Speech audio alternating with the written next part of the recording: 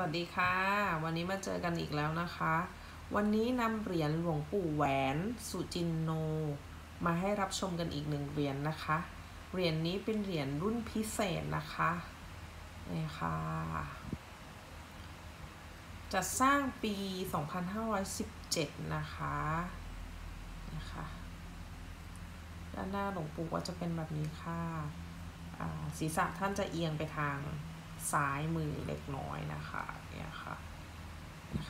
เหรียญนี้เป็นเหรียญเงินนะคะ เก่ามากค่ะ เก็บเก็บนานมาก ๆค่ะ ตั้งแต่รุ่นพ่อรุ่นเลยค่ะด้านหน้าจะเป็นแบบนี้นะคะด้านหลังจะเป็นแบบนี้ค่ะ นี่ค่ะ สังเกตที่หูเหรียญนนะคะ เนี่ยค่ะ นี่ จะเป็นแบบนี้นะคะ แล้วก็จะตอก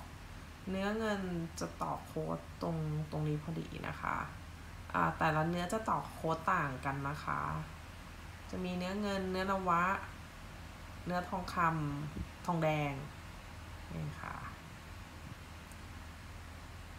เก่ามากค่ะนี่ค่ะจัดสร้างในพิธีในระลึกในงานหล่อรูปปั้น